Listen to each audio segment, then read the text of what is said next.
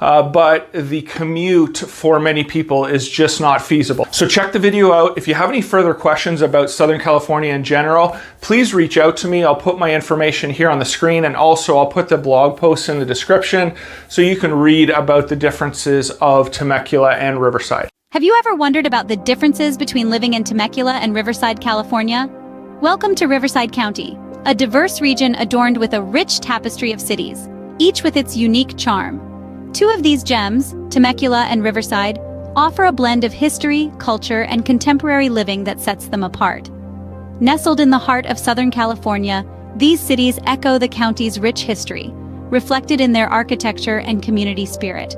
From the Mediterranean climate that blesses the region with sunshine most of the year, to the broad spectrum of housing options that cater to varying tastes and budgets, Riverside County embodies the California dream.